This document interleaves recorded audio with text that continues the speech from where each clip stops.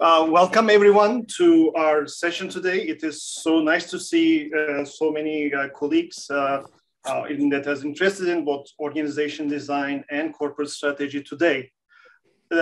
Today's session is the third master class on corporate strategy organized by the Corporate Strategy Interest Group. the first two were organized last year. The first one was on evolution of corporate strategy uh, by Connie Helfat and David Teece.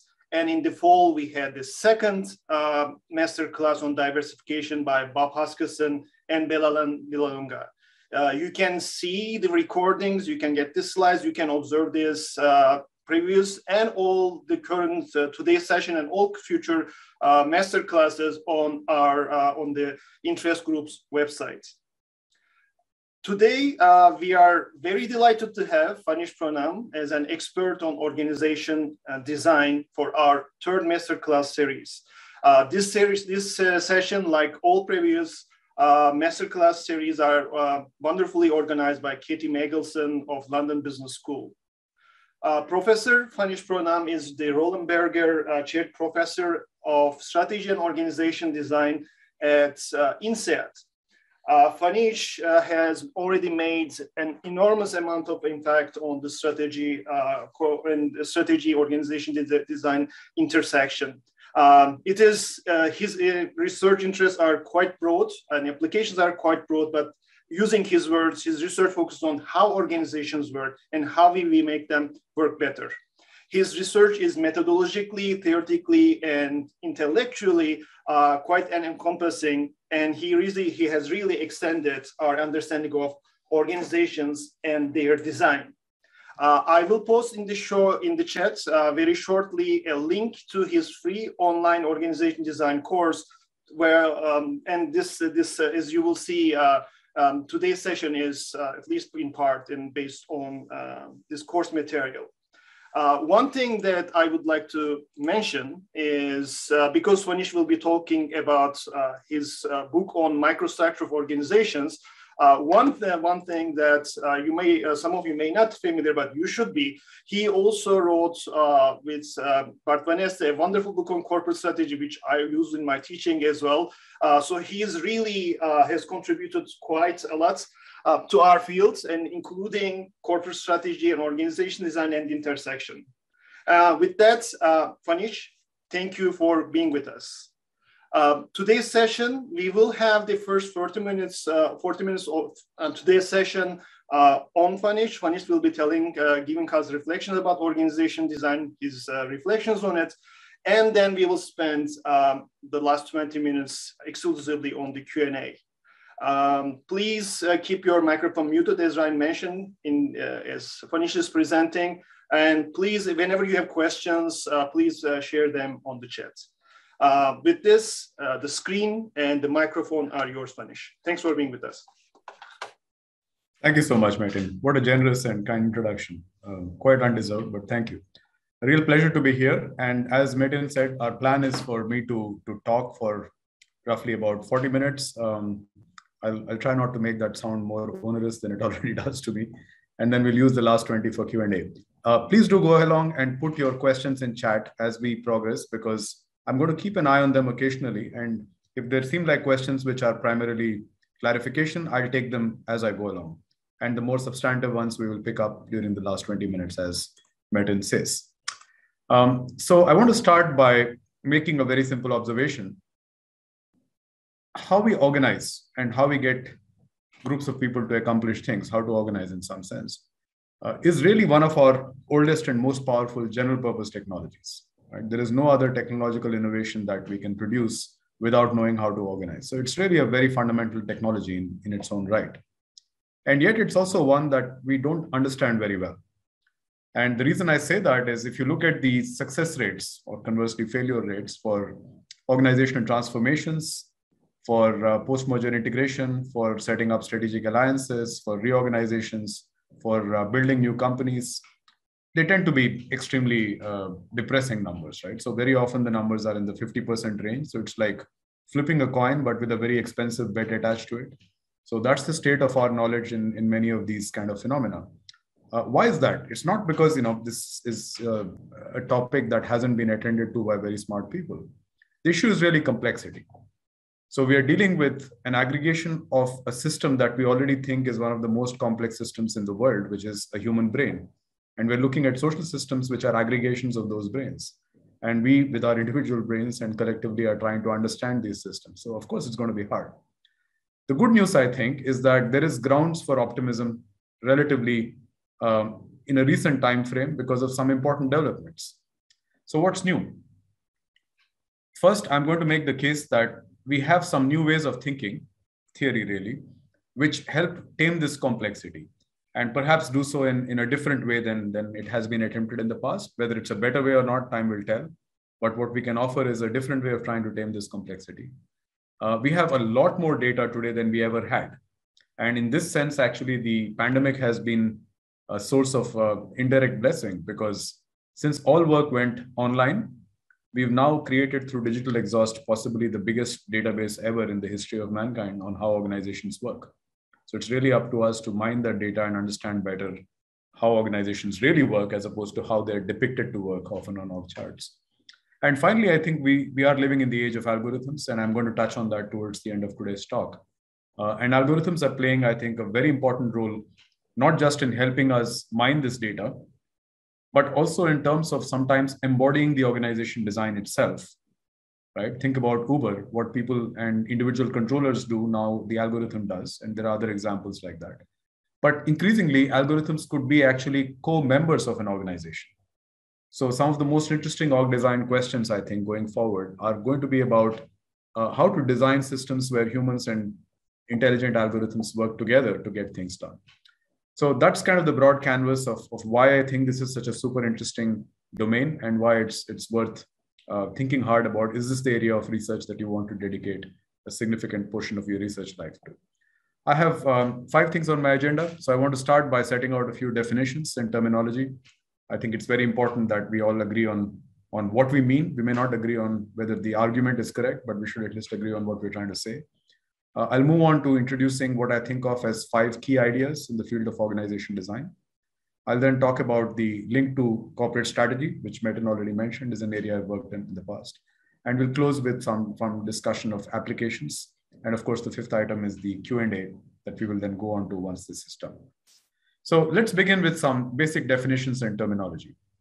So if you're talking about organization design, I think it's kind of useful to first agree on what is an organization. And that might not be as easy to define as you might think.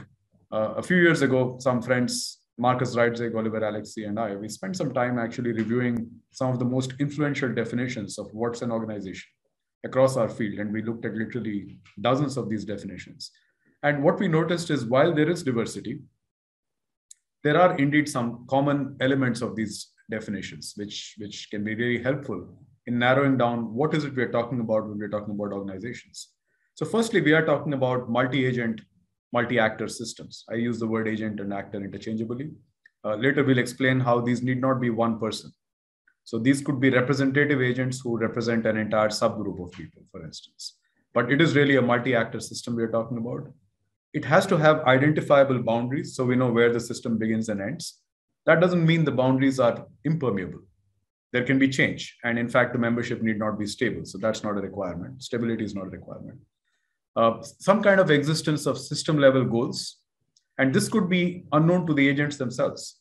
But from the stance of the observer, you should be able to detect some kind of system level goal towards which the agent's efforts then contribute in some form.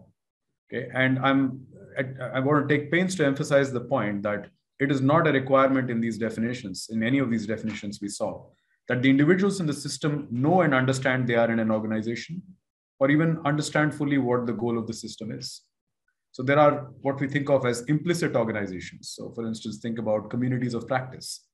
So these emerge and act like organizations without necessarily attaining great clarity either on what the overall goal of the system is, or, or even of the agents actually being aware they are living and working in an organization. So pretty broad definition.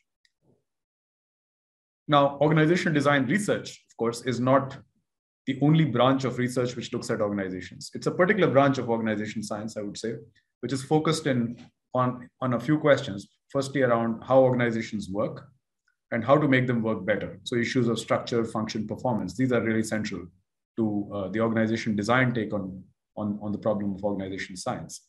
Um, I am at pains also to use the term organization science rather than organization theory, which is also a common word we, we often use.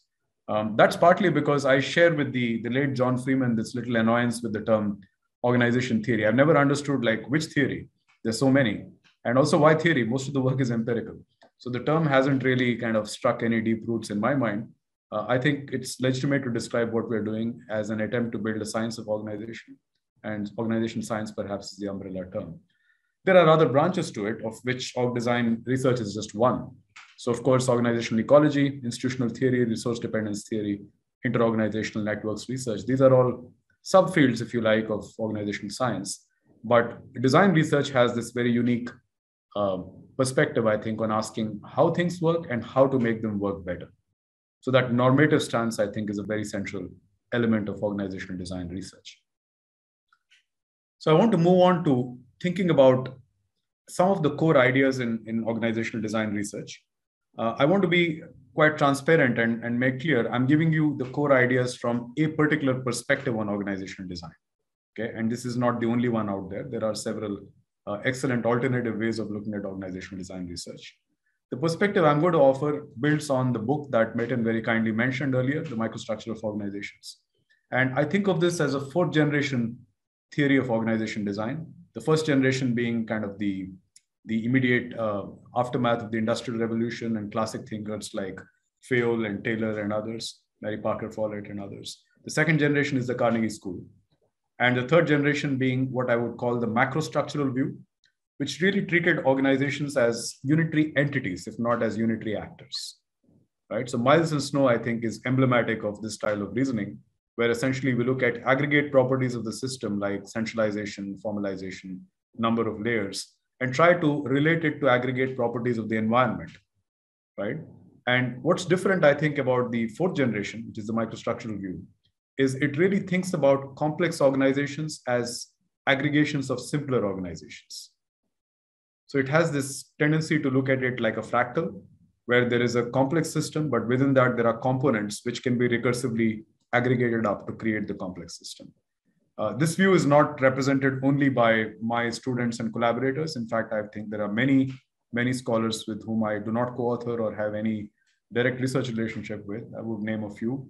Uh, Linda Argote, for instance, Rich Burton, Børge Obel, uh, Nicolaj Siggelkow. These are all individuals, Sendil Ethiraj, Felipe Csaszar. I think we're all really aligned in our way of thinking about complex organizations in these microstructural terms. And the book that I wrote about this is really a, a summary statement of the work that I did, which is mostly with co-authors, but also a little bit of a reflection on the work of these other scholars, uh, as long as it has these microstructural kind of ideas very much front and center. Uh, I have tried to include them in this way of thinking. Okay.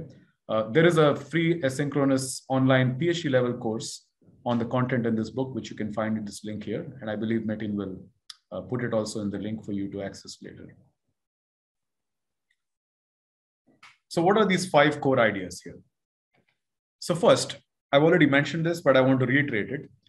An organization is any multi-agent goal-oriented system. So it's a very general way of looking at organizations. So it does not preclude a team or a department or a division or a company or a conglomerate or even a dyad from being considered an organization.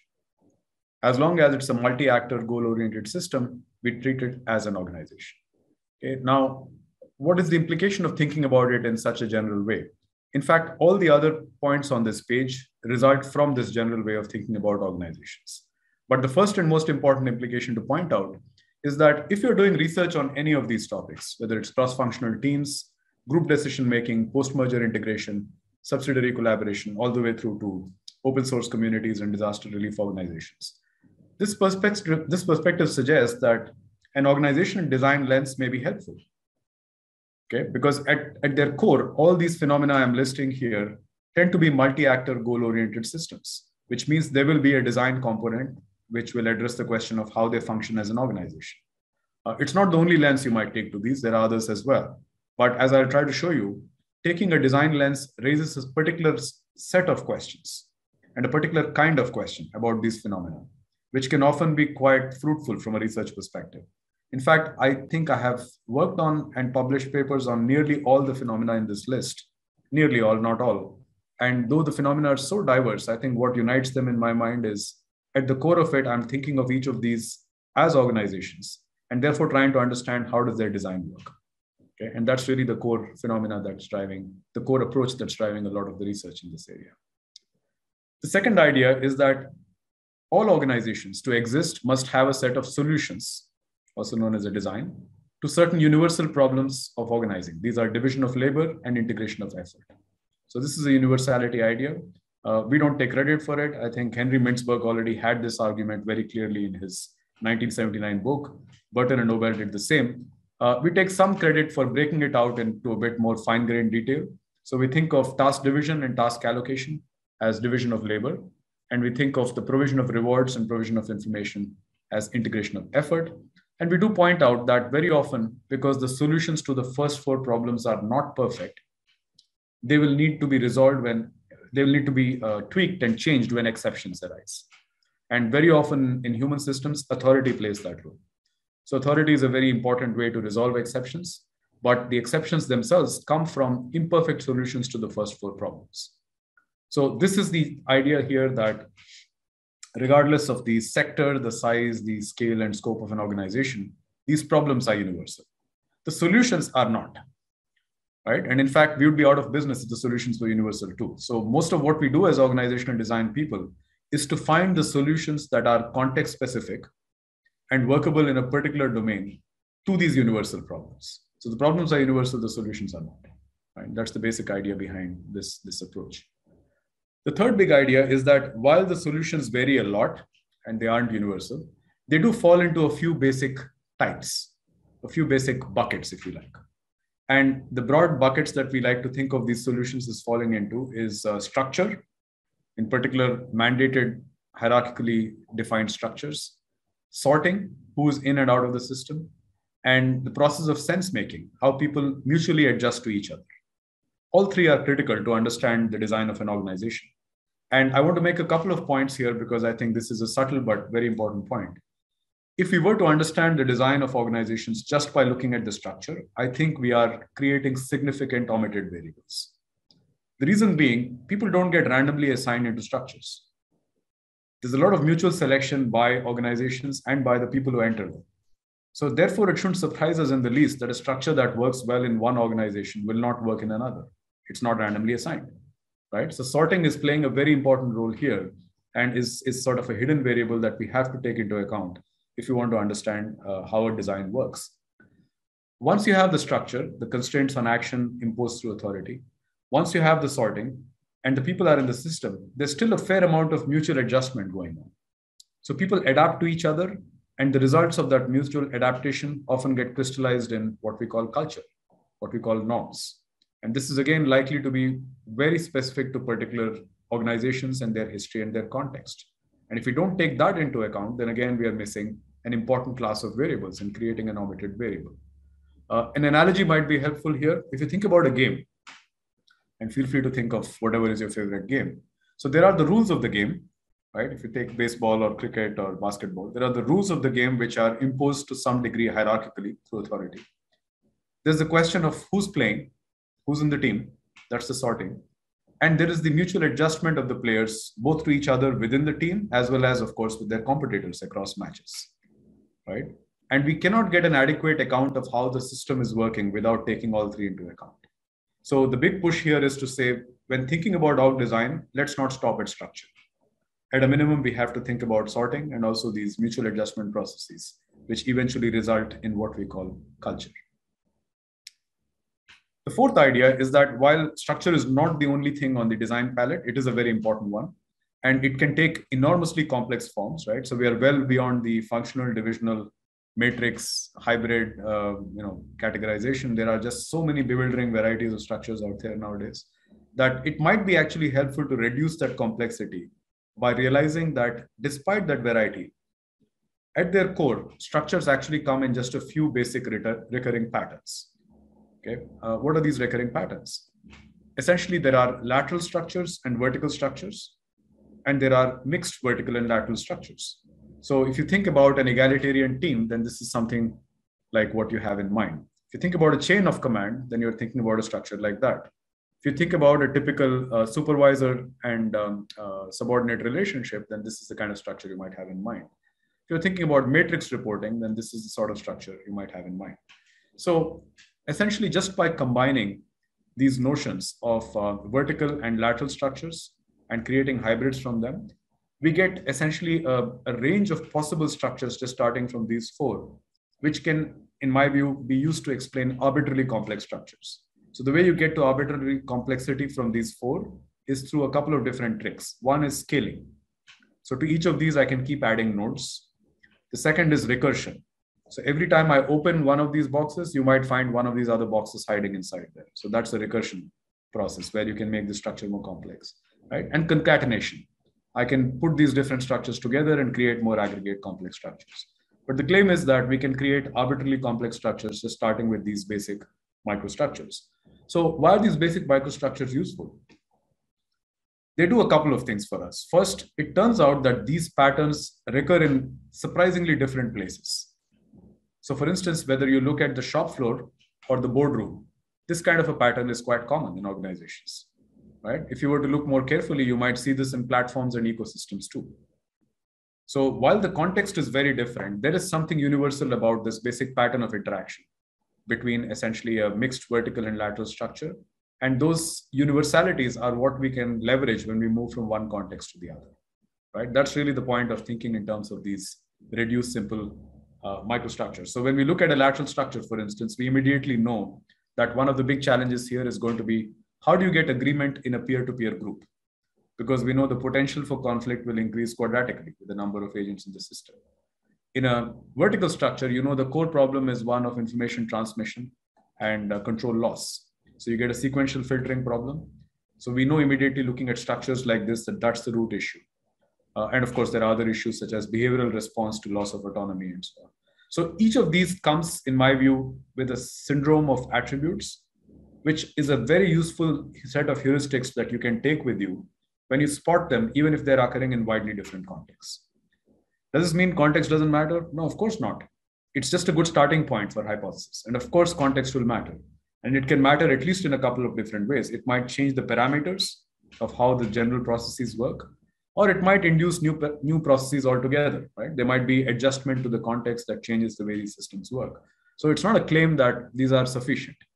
It's just a claim that these are useful as a starting point in thinking about more complex structures. So that's point number four. And then finally, the fifth and final point is that in these pictures I just showed you on structure, it's kind of agnostic to what those arrows are. I just said they're interactions. But we find it very helpful in our work to distinguish interdependence from influence and we actually think that a fair amount of, of uh, confusion can be mitigated or avoided if we are very clear when we are looking at structure and patterns and saying, are we talking about interdependence? Are we talking about influence? There's a distinction. So interdependence is the idea that the returns to my action can depend on somebody else's actions. Okay. Influence is my ability to get others to change their actions. One can exist without the other but they're very intimately tied in a principle that we know for a long time, which is the idea of fit. Okay, fit is perhaps the most central idea in organizational design. Uh, there's a beautiful review article by Rich Burton and Børge Obel in the Journal of Organization Design. And, and Metin, if I forget, please do remind me. I do want to talk about the journal at some point for this group because it's a great, great platform for getting engaged with the organization design community. So uh, Rich and Boer wrote a lovely review piece about a couple of years ago on fit, and they make the general point, which I'm going to reiterate here, that at the core of all that talk about fit, they're really making really one simple point, which is if there's interdependence between actors, it must be matched by some structure of influence between them. This is it, right? That structure of influence could be a peer to peer link of mutual influence, or it could be the fact that both are under shared authority. But all the discussion about various kinds of fit can be boiled down to essentially making this point. So think about fit between an organization and its environment. How does that show up in this picture? Different task environments produce different pressures on an organization to adapt, which mean different divisions of labor, different allocations of tasks. And those, of course, produce structures of interdependence. which must then be matched by particular patterns of influence in order to coordinate those interdependencies.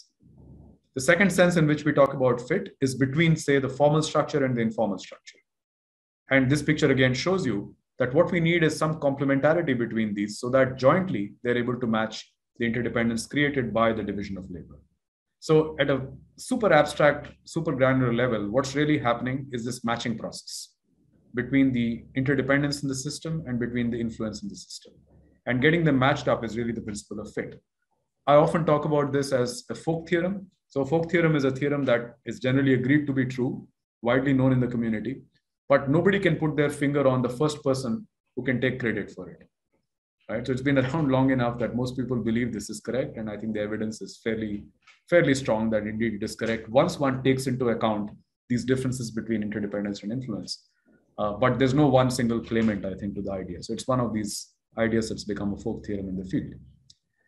So to summarize, these are really the, the core five ideas in the microstructural perspective on organizational design. As I've, as I've pointed out, this is not the only perspective on org design. It's the fourth generation theory, which means there were three that came before. But the five central ideas here, I think, cover a good, good chunk of, of what it is that we are doing when we apply this perspective when we look at any org design problem in particular, what this, this way of thinking helps us do, I think, is adapt what I call an organizational design stance.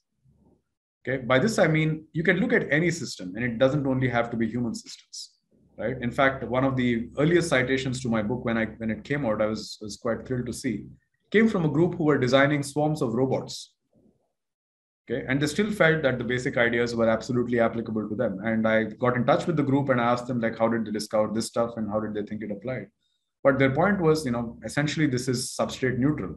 What you're talking about is multi-actor goal-oriented systems and a set of drones trying to collectively accomplish something still face the same problem. So I've realized over time that it's not that good or that useful a question to ask, is a system an organization or not? right? So should we call a three-person startup company an organization, but not call a team of five people an organization? These seem like questions of convention. They're not really scientific questions in my view. A better approach is to ask, let's take any system with multiple actors that seems to have a collective goal and say, how much can we understand by treating it as an organization? Okay, and see how far we go with that. So that really amounts to asking what is its design, how does it solve these universal problems of division of labor, integration of effort?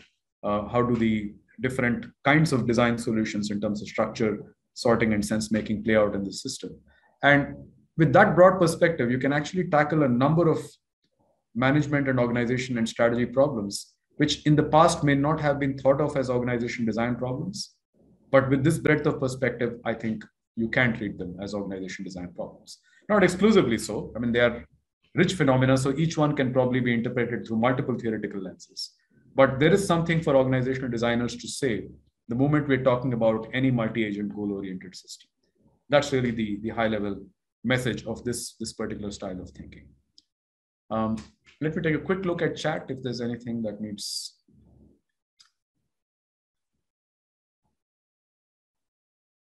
Okay, so Mario is asking the question about near decomposability or modularity. Uh, I do not believe this has to be a universal property because we know there's going to be a lot of variation across systems in the extent to which decomposability obtains. Yeah, so in the limit, there is near decomposability. In the other limit, there is extreme complexity.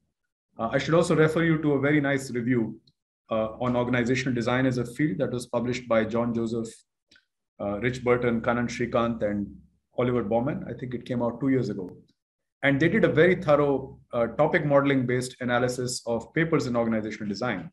And one of their conclusions by looking at the literature over the last 20 years is a clear growth towards non decomposability. So our organizational systems over time seem to have become more and more non modular rather than more modular. And that has led to a lot of complexity and challenge in terms of managing these systems. So I don't know if that's universal. My point simply is we can't assume near decomposability is universal either. Okay, and I'm aware of Simon's arguments, and we can discuss those in some detail, but I'm not convinced that that's a universal property. Okay, uh, I'll come back to, to this in Q&A with, with great pleasure if necessary. I want to talk a little bit about the links between organizational design and corporate strategy. Uh, and uh, Metin already very kindly mentioned the, the other book project that I had worked on a few years ago. And in fact, that came before the microstructure book. And it's, I think, an accurate reflection of how I stumbled into organization design. So I didn't start out studying organizational design. I was a corporate strategy guy and was working on post-merger integration. But at some point, as I was working and researching in this field of corporate strategy, something struck me as being quite important and profound, which is corporate advantage, right? The way in which a, a collection of businesses can be worth more than the sum of the parts. In the end, comes from one of two sources either from selection, you're smart at picking the businesses that go into the portfolio, or synergies. Right? And in efficient capital market, selection is off the table. So it's mostly going to come from synergies. So this is really the, the core idea in corporate advantage. And synergies in turn, very often but not always, require some degree of modification of resources. You don't get synergies just by throwing different resources into a basket and shaking, right? You need to tweak them, you got to customize them, link them. There's a lot of human collaboration going on for synergies to actually be realized, which really leads to the implication that uh, organizational redesign is probably one of the most important levers for a CEO to generate corporate advantage. Because if it's not going to come from just selection and it requires synergies, and synergies require modification and collaboration, that's what org design is all about. So the link between the two, I think, is actually a very deep one. And one, it, it took me some time to realize, but eventually the, the links were very fruitfully, I think, exploited by us in this book so uh, Metin mentioned he uses this for his teaching. I know other friends do as well, perhaps including those who are here. I want to highlight three of the uh, greatest hits or most useful frameworks, I think, from this book and point you to their organizational design roots.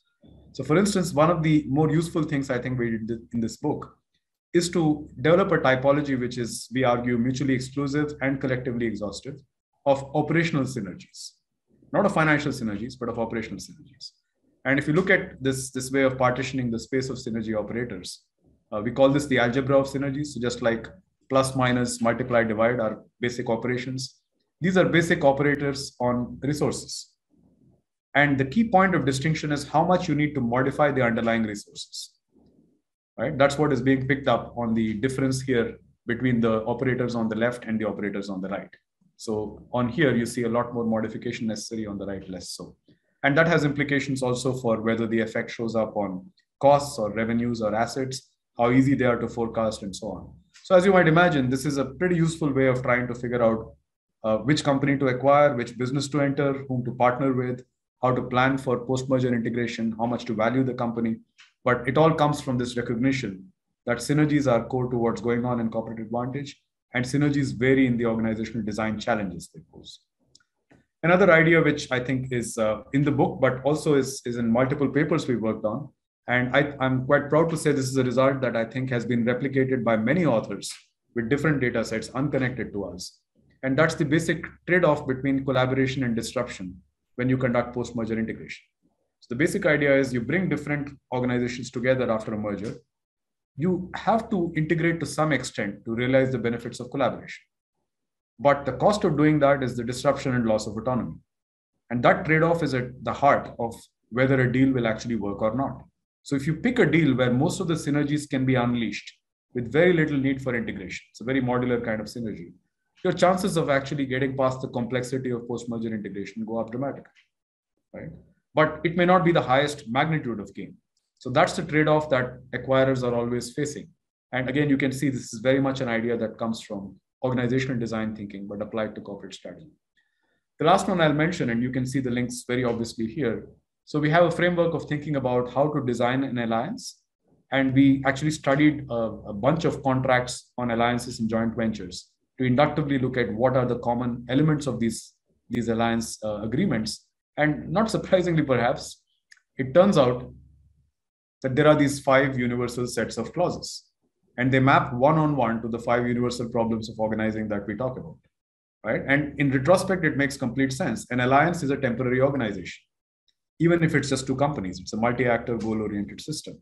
So of course it must be true that to define its design we need answers to these universal problems of task division task allocation uh, motivation coordination and exception handling so again this is like a, a, framework in corporate strategy which owes a lot i think to the roots of its thinking in organizational design the last thing I want to do is touch very briefly on a, on a few application areas uh, beyond the ones that I've mentioned in, in corporate strategy. And some of these are relatively new ideas. Some are now established in the sense we've published papers on them. Others have done so as well. Uh, but I, I don't intend to claim this is like the final word on possible applications of these ideas. In fact, far from it. Uh, in fact, I'm going to ask Metin later for some help in thinking about application of org design ideas to, to things like uh, sustainability and CSR and ESGs and so on. But I want to give you a flavor of how an org design stance might help you look at phenomena which can be quite different from each other. So the first of these is um, our work on Asian business groups. So this is a very interesting corporate strategy form, has been around for a long time. They tend to be these highly diversified family-controlled businesses in very unrelated uh, lines of business. Very typically, the the um, the structure looks like it's just a hodgepodge of very different businesses and not entirely clear why they even belong in the same system. And one very influential explanation has been that it has to do with institutional voids. So this is Tarun's work making the point that you see these kind of collections in systems where internal capital allocation beats the efficiency of external capital allocation. And I think that's that's absolutely correct. But it does raise this bit of a puzzle that in many economies, even as the capital market efficiency improved, the value of being affiliated to a business group actually increased rather than decreased. Right. So we dug deep into this in the context of the of the Indian uh, con- in the in the context of Indian business, Indian business groups. And what we discovered is, is quite interesting. So typically these structures remind us of the triangular structure I showed you earlier, a typical headquarters and subsidiaries. But in a lot of these Indian business groups, these subsidiaries are also listed. So if you look at it from the perspective of one of these, they actually have dual masters. So they are the, the shareholders in the capital markets. And there's, of course, the internal headquarters of the company. And this dual reporting structure that these, these companies have puts them in a very interesting position where the headquarters can force through synergy operations between the businesses where they exist. But the capital markets kind of create scrutiny and discipline on doing too much of that and harming the interests of individual minority shareholders. So it's a very different governance structure compared to, say, a traditional G, for example, or, or even a, a traditional holding company where there's a single listing at the top. So it is this hybrid split of ownership between headquarters and the capital markets that creates a, a dual reporting structure, which can be quite um, unique in the kind of effects it produces and the kinds of synergies they go for and so on. So a lot of our tech conglomerates are not like this. They're still much more like a holding company structure. They're thinking about Alphabet or Meta. But it may well be that the next stage of evolution for them looks something like this, right? Essentially, the spin off parts of their businesses, and there is joint reporting both to the headquarters as well as to, uh, in some sense, accountability to the capital markets. Another class of phenomena where I think org design thinking uh, has been already quite helpful is what we call meta organizations. So these are networks of uh, individuals and firms not bound by formal authority relationships, but which nonetheless act as if they have a system level goal. So things like ecosystems, open source, platform organizations, these are all meta organizations. And uh, their design is really illustrating this notion of inter-organizational design. And what I think an org design perspective on platforms and ecosystems and open source communities brings is it asks you these same basic questions. How is task division and task allocation done in these platforms? Okay, and there's a fascinating variety in how it happens. So is it done in a collaborative way? Is it meant to modularize? Is it meant to actually create more dependence? Do you want substitutes? Do you want complements in the portfolio? So a number of my friends are working on this topic. So I, I read their work closely. So Michael Jacobides, Carliss Baldwin, Toby Kretschmer, Aseem Kaul, um, Melissa Schilling, PK Toh, these guys are doing some amazing work on, on these phenomena. But if you look at what they're talking about, it's documenting these variety of solutions to the same basic problems of division of labor and integration of effort that you see in any organization. Okay, so taking that perspective on a platform or an ecosystem really asks you how are they solving these core problems of division of labor and integration of effort. Another class of phenomena is uh, non-hierarchical organizations. So these are all companies that have made a name by being flat. Okay, and if you take an org design perspective, of course, the obvious question is: so if you're managing without authority, it must mean people are very good at resolving exceptions peer to peer. So how are they doing that? So one line of attack we've taken is that culture is playing a very important role in allowing these organizations to be flat. So in some work I've done with uh, former student Arianna Marchetti, we use data from Glassdoor and machine learning methods to try and document the culture of these organizations. and show that in fact the flatter structures tend to have more cult-like cultures. So that's a straightforward implication of the, uh, the links between structure sorting and sense making that I showed you earlier. The last point I'll make, and then I'll stop. Um, I'm, I'm very excited nowadays to think about human AI collaboration as an organizational design problem. And the reason I find that there's a lot to do here from a design perspective is I think we've been rather fixated on the idea of division of labor with specialization. So it's very intuitive that algorithms do certain things better than humans and humans do certain things better than algorithms. So what's more natural than chunking it up, right? And dividing up the work so that the algorithms do what they're good at and we do what we're good at. That's absolutely valuable. But there's nothing intrinsically different about that than between offshoring or outsourcing, or in fact, between the logic of comparative advantage that David Ricardo wrote about 300 years ago and what's going on here. What might be new, I think, is the idea of division of labor without specialization. So suppose we ensemble decisions by humans and algorithms. Right? Ensembling is a standard technique in machine learning. You build different models on the same data to maximize diversity, and then you aggregate them using some aggregation rule. What if some of the ensemble voters were humans and some were algorithms? Under what conditions would these beat all human teams and all algorithm teams? That's the question that we find really fascinating and interesting. Uh, we don't have all the answers yet, but these are topics that we're working on. Hopefully, you see the common thread across these very different phenomena of treating them as organizations and trying to answer the questions about design. There's a lot more one can do. I think social enterprises, designing for resilience. Uh, if you like the flavor of the month, it's managing in the metaverse, right? So there's a lot more one can uh, attack from this perspective of thinking of it as an org design problem and thinking through those five core ideas that I suggested. Let me stop there and we'll take questions. Thank you. Thank you very much, Phanish. It's always a pleasure to get your reflections, and it was it was really great. Uh, before we turn to the questions, and please, uh, everyone, uh, post your questions in the chat. Uh, because this is a masterclass, uh, will it be possible for you to elaborate a little bit more on the issue of aggregation? Uh, the microstructure perspective, you know, seeing as an organization as multi-agent systems, make aggregation particularly important from the individual, especially large organs all the time. Can you reflect a little bit on the issue of aggregation and there's some open questions, if you will? Absolutely. Um, so let me take an instance which I think everybody would probably be interested in, which is organizational learning.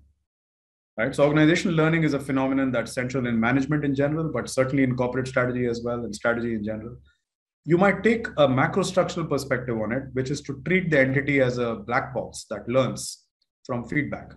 And a lot of the work, even in the Carnegie tradition, has been like that. So if you think about behavioral theory of the firm, that book is written very much from this black box perspective. And you can do excellent work with that perspective. The problem is, you know, you can build a good wall without a theory of the brick, but you can't improve its internal structure. So if you actually want to improve how an organization learns, you need to understand how the learning of the components produces learning at the aggregate level right? So this is where the aggregation perspective becomes super important. So what's happening within the system? Are people learning from each other vicariously? Are they learning in a coupled fashion where the actions of one produce outcomes for the other is there belief sharing? Is there knowledge exchange?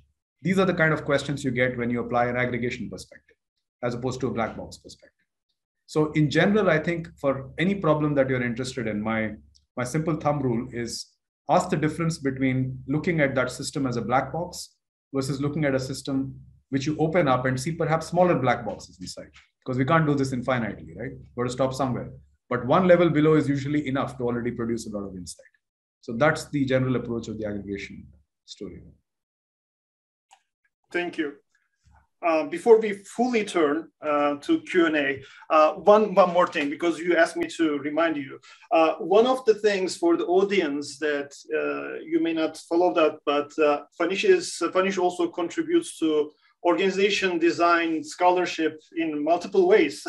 and that he is currently the president of organization design community uh, the, the organization that's, uh, you know, premier organization that puts together organization design scholars and practitioners.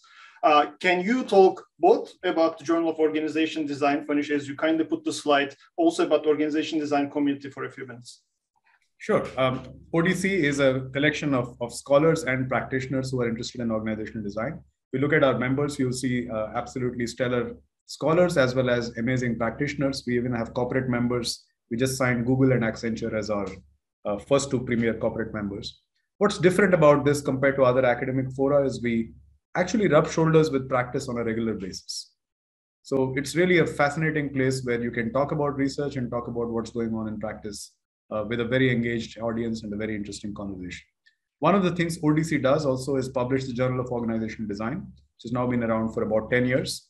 And in fact, Metin is being coy here. He was the previous editor, chief editor of, of JOD, uh, along with John Joseph, under whose leadership the journal really took off. And we have an amazing variety of formats that we cover in terms of the kinds of articles we publish. Uh, and uh, we are constantly looking for submissions. So please do consider sending your work to Journal of Organizational Design. We promise relatively fast turnaround, and we also promise impact on a group that is really interested in these topics. I think this is what is strong about this journal. Current editors are Brian Wu and Oliver Baumann. Is that a good ad, Metin? Does the job? Thank you. Thank you very yeah. much. Um, you know, uh, we care a lot about Journal of Organization Design, organization design community, uh, especially as organization design scholars operating, studying at the intersection of the uh, with the strategy. Thank you. Uh, can we now uh, turn to David? Uh, David, can you elaborate on your question to Phanish? Oh, yeah, I mean, it's sort of a minor, minor point. I just struck me as we were going along. So I don't know if you if you want to address it. It is minor, but I was just thinking that graph you showed that where does the absorption acquisition fit in there? In that there are huge gains to just assimilating and taking, and it doesn't really matter. There's a loss of autonomy. In fact, you want that. The again, minor, minor point here, but. Uh, Thank you. Thank you, David. And thanks so much for coming. I really appreciate your, your being here as a stalwart in this area. Uh, I, I, would see the, the absorption outcome in M&A as being one of the possible optimal solutions to that trade-off. So it arises when exactly as you said, the returns from integration are so large that they dwarf the costs, right? And this is going to be the case, I think, for certain kinds of synergies where really the collaboration effects are super important. Okay, it's not a universally right way of integrating, as Haspeslag and Jemison pointed out. So it's very much contingent on the slopes of those two functions. So how fast does the benefit of integration rise? How fast does the cost of integration rise? And the relative rate of rise is going to determine are you at one end or the other. And absorption is one end, right? And preservation is the other. And in between, there are other possibilities. So I think all I'm doing is saying they gave archetypes. I'm giving you a more continuous scale. Because in reality, I think integration tends to be continuous. It's not only archetypes.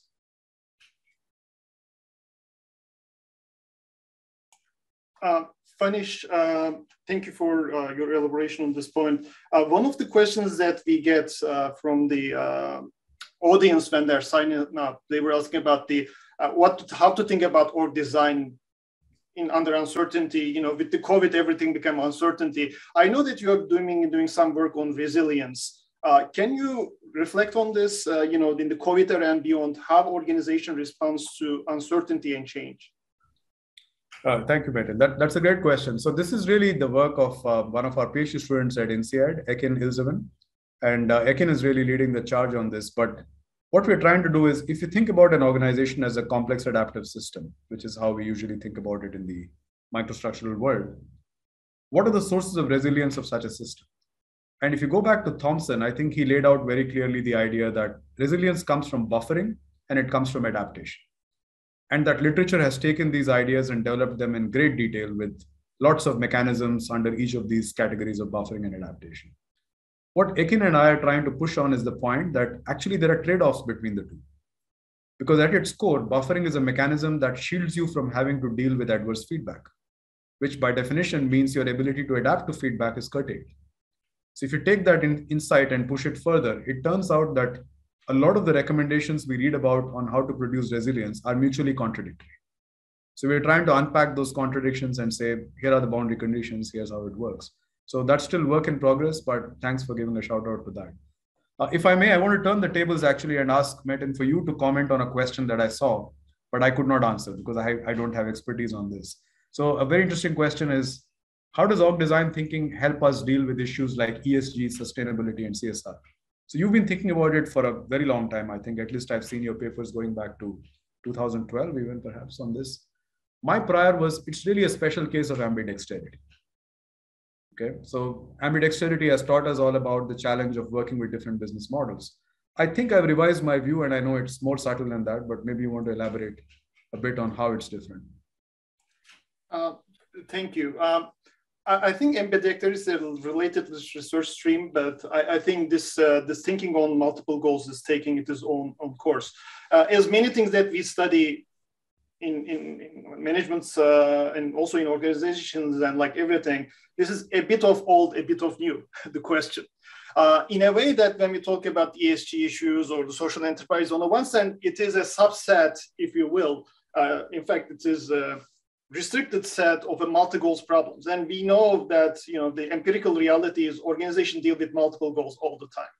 And uh, most people have been studying. I think what has been uh, becoming a little bit more challenging and visible with these uh, dual purpose organizations or the role of you know organization really putting this uh, social and uh, financial objectives at the very top of their hierarchy is uh, beyond the multi uh, multi goal problem. There's also the involvement of the other stakeholders in the external environment more than uh, trying to balance market share growth and profitability.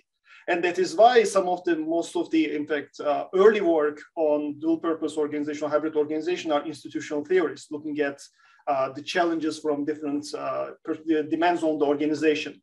I, I, think where we are going, the field is going now, is trying to unpack the trade-offs. Uh, in fact, when you think about the way you think, uh, think about the link between how you solve, how you look, how you address multiple goals, Felipe Csaszar uh, has a working paper on that. For example, it pulls the ideas about how to how to look at this financial and social goals. One is you only look at one goal, which is only the financial objective, and you keep the uh, social social uh, objectives in mind. And that is what institutional council calls the uh, mission drift. That's the maximizing view. The other end, you see it only as a constraint. So it's a constraint optimization problem. I forget their label social and environmental objective becomes like a constraint that you still maximize the so you know uh, the financial one and in between there are strategies going back to march and simon um, and march and so on this in terms of switching the goals uh, one focusing on the other combining which is closer to the idea of dual purpose uh, organizations and so on so i think the the broader issue is seeing them as a comparatively, uh, as Philippe and Cotter is looking at different ways of uh, addressing them within the perspective of organization design. The other thing is within each bucket, what are the pretty specific organization design uh, issues? And when you look at the combining uh, hybrid organizations, the biggest issue is trade-offs. And that's an old question, but it is becoming more salient. I think that is now uh, what the most organization design scholars trying to solve. Sounds great. I see a question from Adrian in chat, which I'll make an attempt to answer. So so I think one of the things that also comes from thinking microstructurally is the realization that our theories give us a menu of mechanisms. They don't necessarily tell us like what is likely to work in a particular context. Right. So a lot of what I've been trying to do is convert this style of thinking into very practical applied stuff for my MBA students and exec audiences. And essentially what we tell them is you got to run A-B tests. Okay, the, the theory can give you some possible mechanisms about what's likely to happen in a given situation, but what will actually happen will be very much a function of the sorting and sense making context that was happening in your organization before we imposed a structure. And I have no general way of telling you what that is. So we can give you an, a way of designing a, an A-B test that can help you answer the question. So to make it concrete, uh, suppose you had to figure out whether agile teams are a good organizational design for you.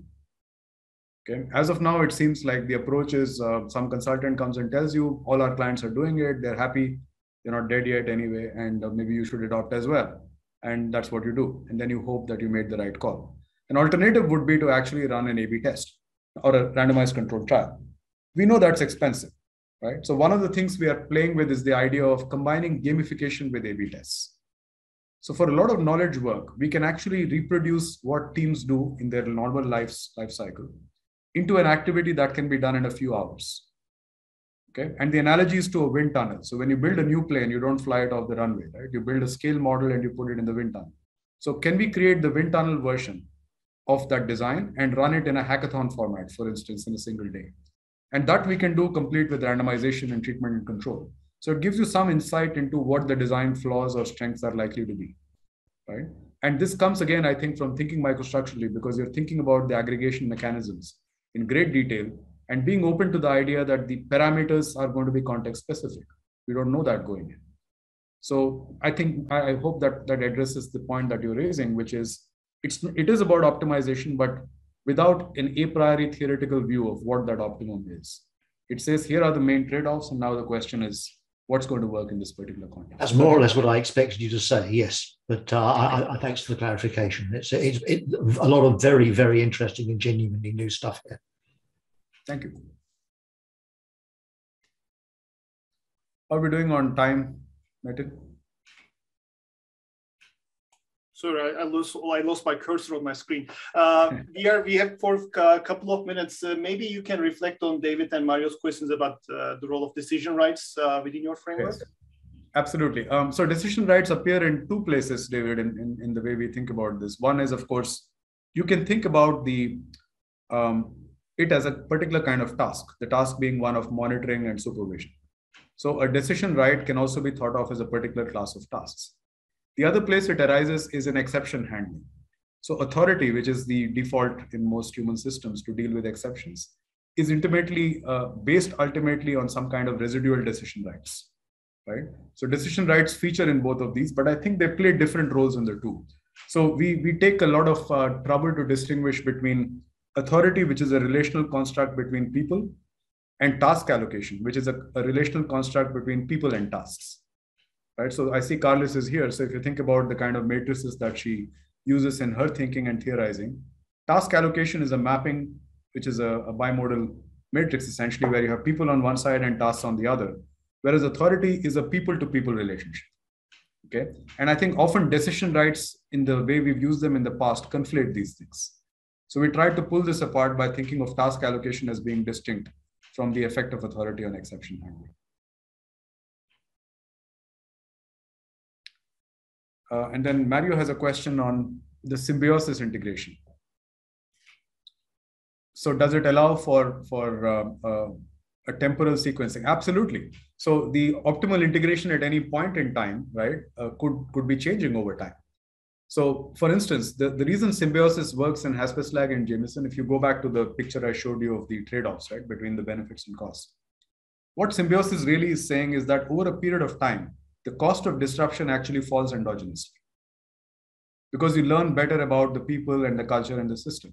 So obviously the optimal at point T0 is not the same as, as it is at T1 because the cost has fallen. So you went, you may slide out the integration more towards one of the corner solutions. So uh, this is really just an algebraic way of redescribing what they did much more poetically, I think. But this is what's going on, right? Essentially, it's the trade-off between the two. And what's changing over time is the marginal benefit, marginal cost calculation between the two. Thank you, Phanish. Uh, we are now out of time. Uh, we would like to thank everyone for attending the masterclass uh, with Phanish. Uh, thank you for being with us. Uh, as I mentioned at the beginning, uh, you will be able to watch again if you want to come back. this masterclass will be discussed on the corporate strategy IG's uh, website. Uh, with that, special thanks to Phanish. Phanish, thank you. Thank you for being with us. Thank you. Thank you for hosting me.